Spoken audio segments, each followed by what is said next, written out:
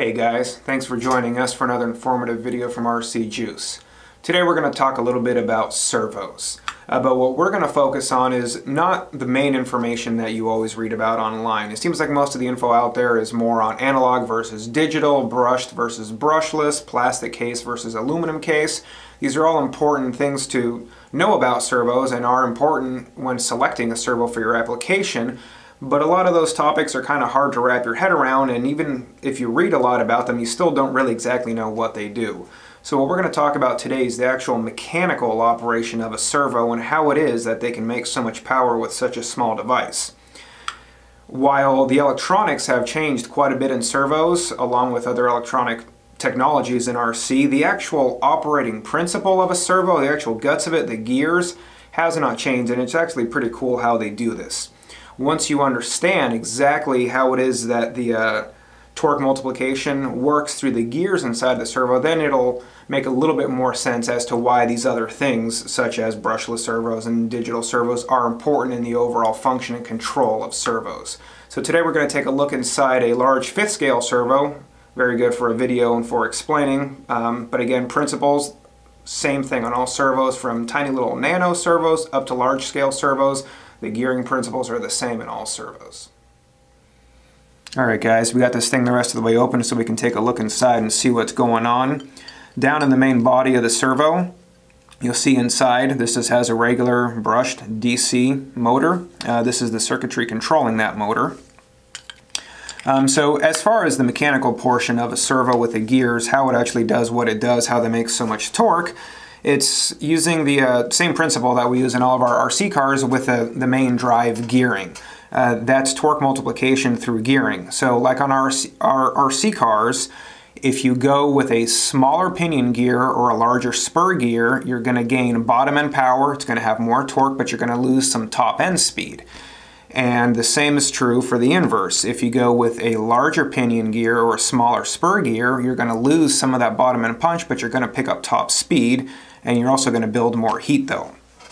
So on servos, obviously what we're generally looking for is to build more torque because we've got a real small motor that needs to make a lot of torque. So the way they do that again is through that torque multiplication.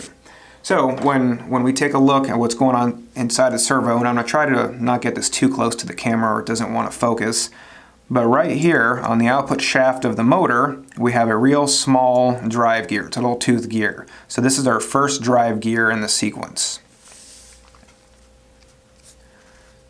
So next up, we have a much larger gear that's going to engage with this drive gear here. Get, get this little bushing out of the way.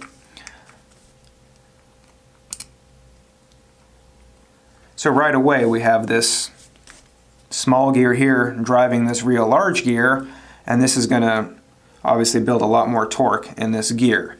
And then as part of this gear it has another little gear inside the middle of it.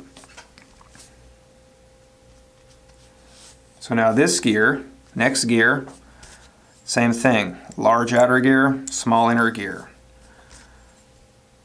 This small gear is being driven. It drives against this large gear.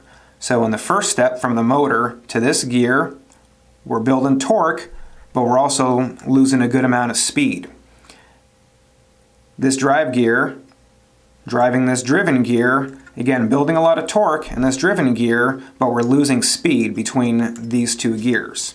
And for the next part, we're going to do this off camera because these two gears have to go on at the same time and it's kind of clumsy to do it on camera.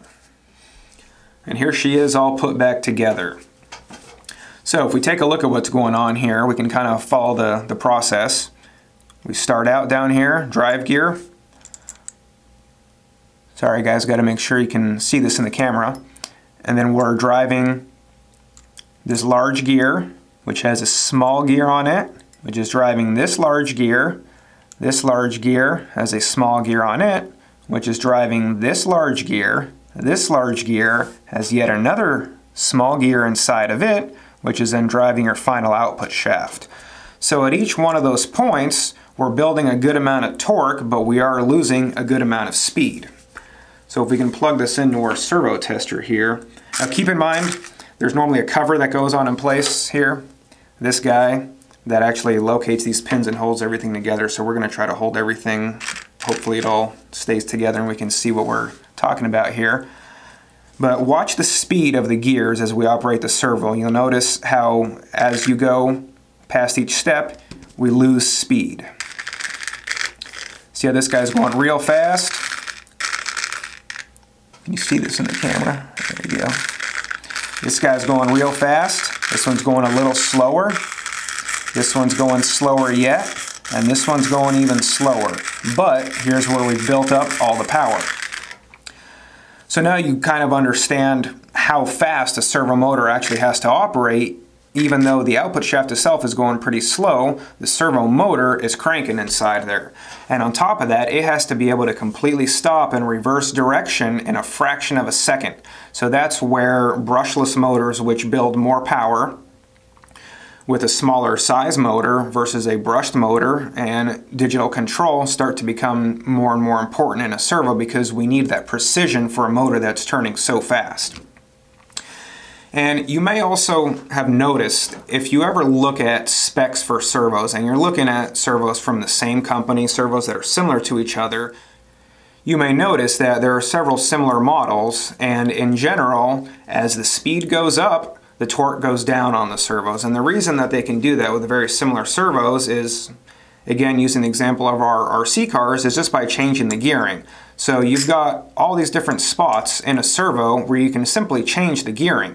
So if you change the gearing, if you go with a smaller drive gear and a, and a larger driven gear, that servo is going to make even more torque, but it's going to go a little bit slower. So it's just like re-gearing your car. They're just re-gearing servos to get different characteristics out of the same servo body. Well, that wraps it up for this video, guys. Hopefully now you guys have a little bit of a better understanding of exactly how servos do what it is that they do. If you have any questions, please feel free to contact us at the uh, link in the description below. And thanks for watching, guys.